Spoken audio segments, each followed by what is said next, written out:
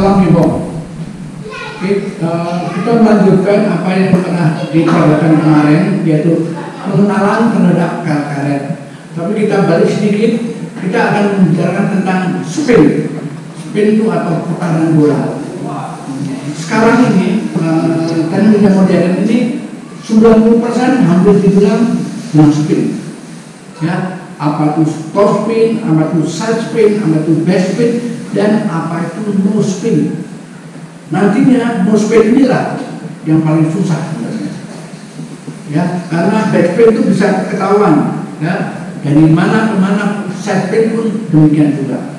Nah, semua spin-spin ini tadi, uh, saya bicarakan tentang back spin, side spin, side spin, side spin, ya, ada top spin.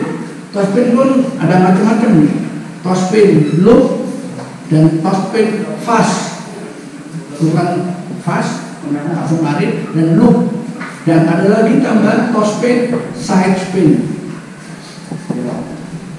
Ya, nah kalau kita sudah bicara tentang spin itu tidak jauh dari pengetahuan kita tentang karet. Karena karet itu efeknya kepada spin. Nah, kalau kita ngomong karet, saya di Indonesia ini juga bermacam-macam karet. Ya, uh, saya pernah menemui dari Rangga Klinik itu juga bermacam-macam. Tapi yang diperadakan banyak dengan karet Cina.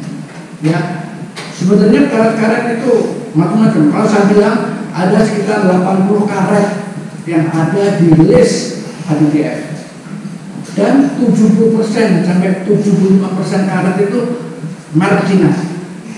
Nah, dan sekarang saya tahu di Indonesia ini ada sekitar 15 merek Cina yang diketahui.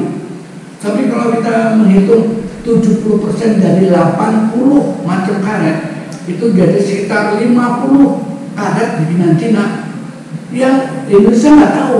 Yang tahu bangsa 15 paling 20 merek. Banyak merek yang baru, ya. Yang lama misalnya 729 itu dari dari Tianjin kalau salah. Ada lagi DHS double happiness itu dulu terkenal Swansea.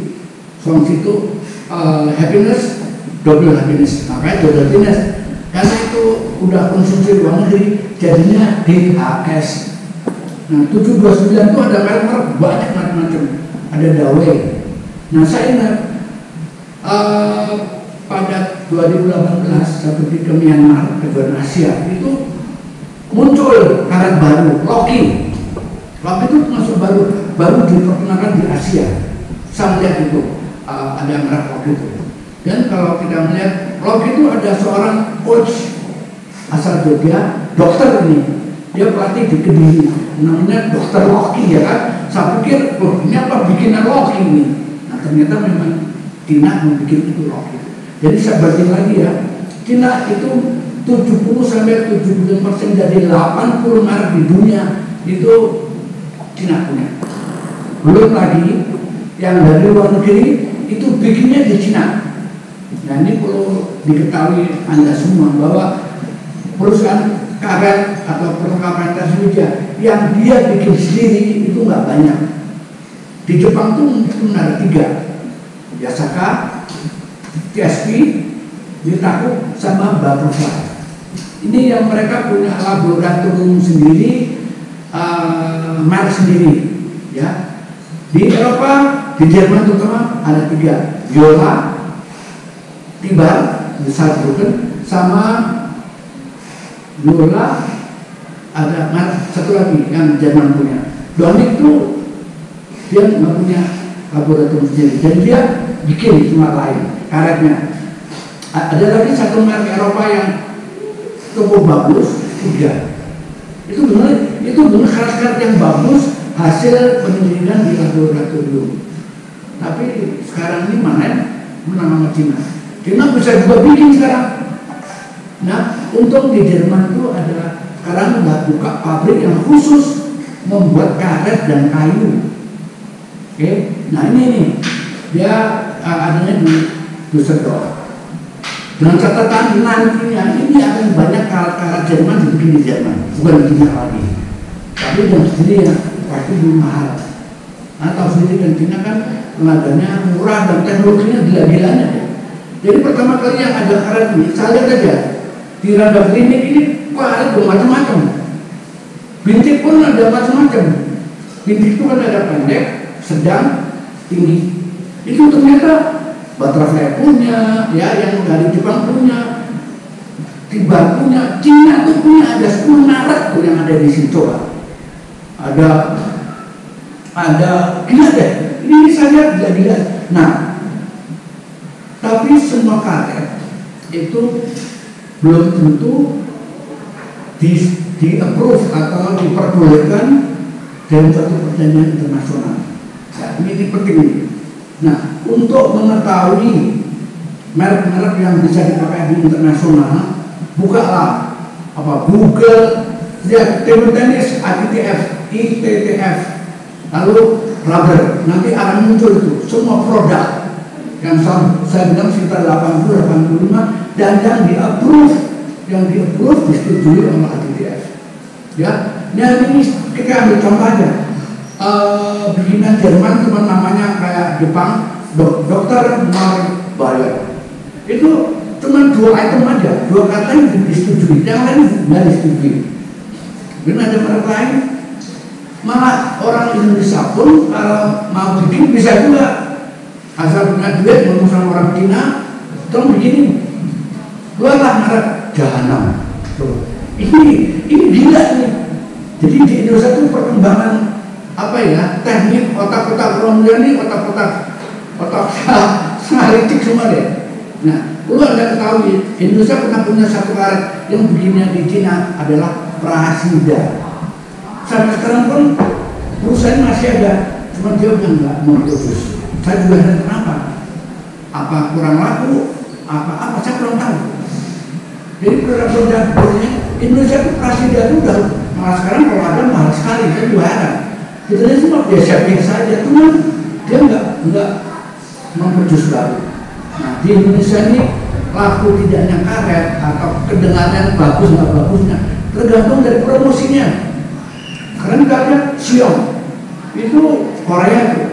Dari dulu Korea nggak pernah. Sebenarnya nggak pernah begitu terkenal sebenarnya. Tapi di sini cukup oke okay nih. Apa karet itu?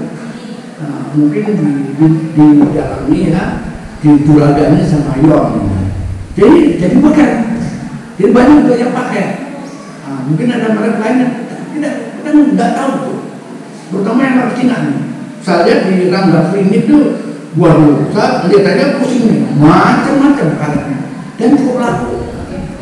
Ya harga bisa 150, 200, paling tinggi 400 banding dengan butterfly. Butterfly itu paling murah 150 sekarang ada 1 juta.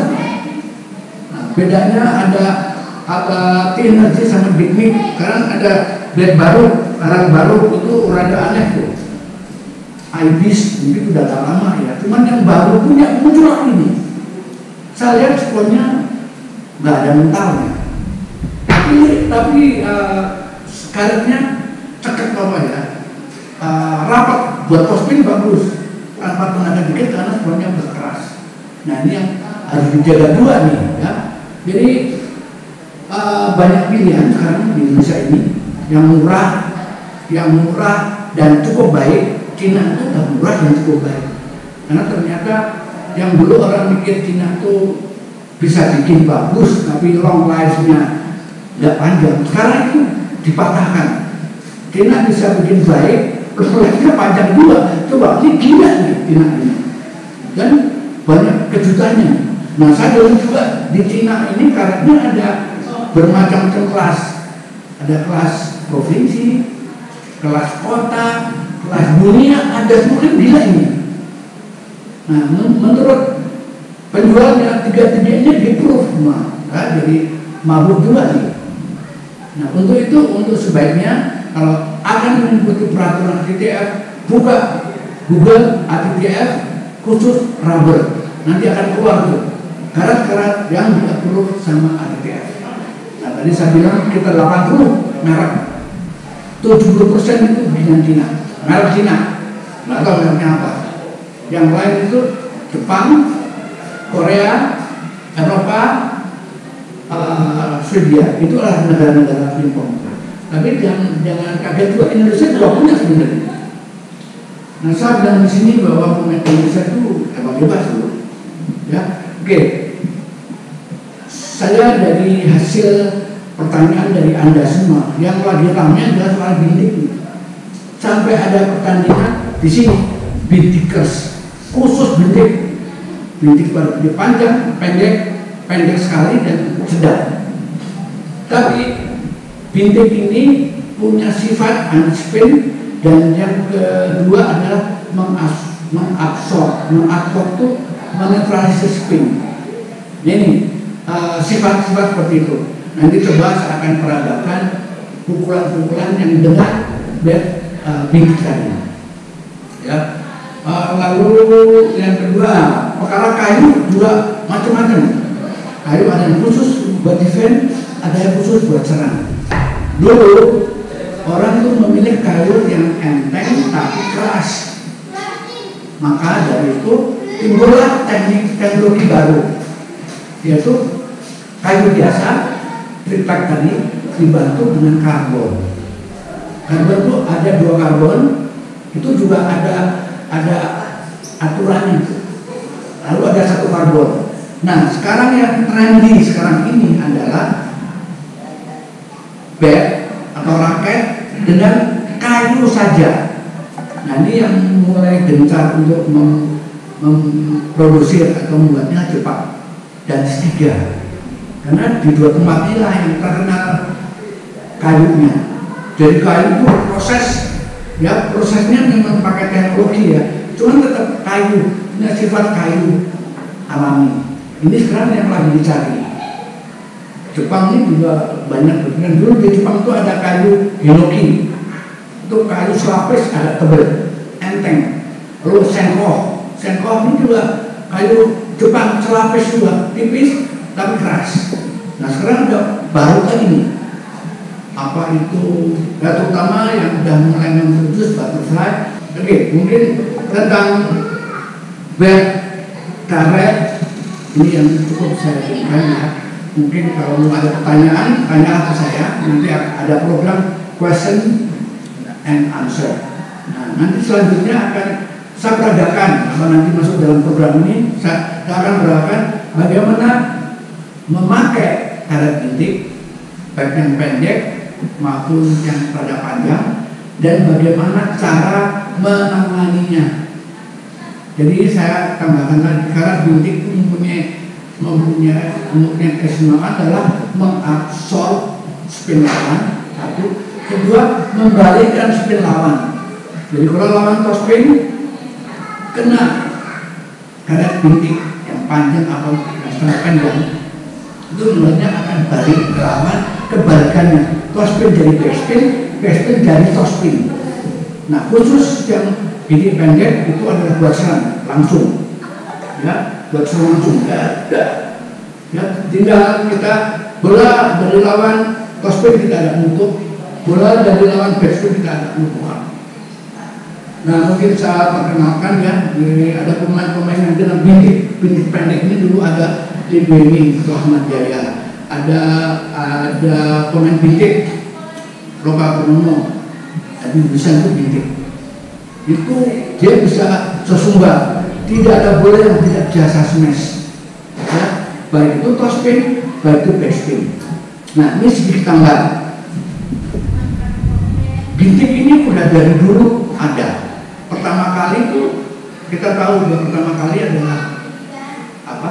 Bed tanpa karet. Jadi kayu aja.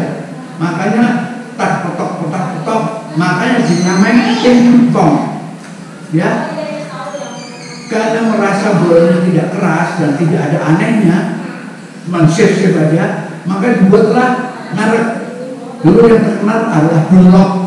Dunlop ini adalah produser badminton produser peralatan tenis lalu dia bikin buatan saja mereknya Barna jadi karet bintik tapi karena bawahnya tuh dikasih kain. Dulu ada pemain kita Indonesia, Imeyaki namanya, itu juara Indonesia banyak berapa tahun itu. Dia pemain nasional pernah bersama-sama saya dalam dua kali kejuaraan dunia. Itu pakai bintik ya. Ini buat contohnya. Oke? Uh, keterangannya itu dulu. Salam bimbang. Jangan lupa like, watch, subscribe, share.